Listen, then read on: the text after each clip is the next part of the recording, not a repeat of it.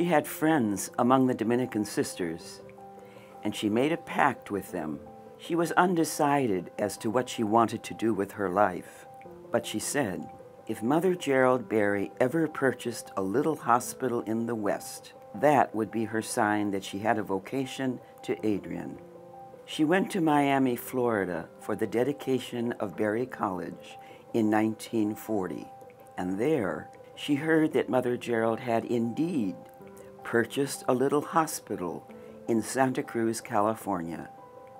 That was the sign, and now she had to tell her father. This is a story of an ordinary woman gifted with extraordinary courage and radiant faith, who carved a new path for the future, responsive to the call of her Dominican vocation.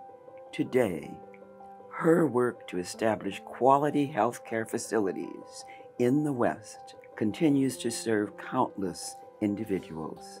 Born in Chicago in 1918, Sister Georganne Duggan first met the Adrian Dominican sisters when they began teaching her in the fifth grade. The sisters instilled not only a solid foundation of science and math that led her to become a nurse, but ingrained a faith that would lead her to join the congregation. Only a few weeks after she entered the congregation as a novice, Sister Georganne became one of the first five sisters sent from Adrian to Santa Cruz, California. They were pioneers who established the Adrian Dominican Healthcare Ministry at Sisters Hospital. Sister Georganne was the only nurse among them.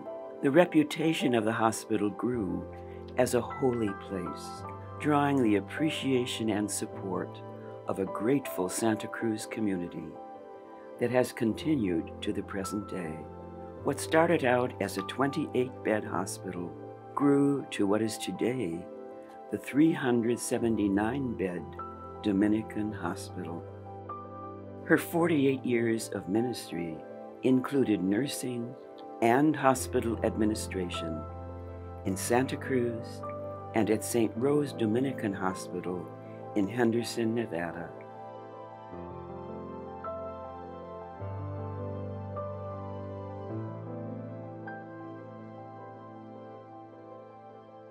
Well, my memories of Sister Georgiana Duggan is that in the 60s, I would come in from Winslow, Arizona to the hospital in Henderson, Rose de Lima, and she would be there with Sister Marie Bridget. Those are the two I remember the best. Sister Georganne was the first nurse that went to Santa Cruz to open that hospital, and it was in pretty bad shape. You know, it was in disarray, and she got it together. And she was a really dedicated nurse. The impression she left on me was that she really knew what she was doing. And so when I went there in 92, we just had the one hospital.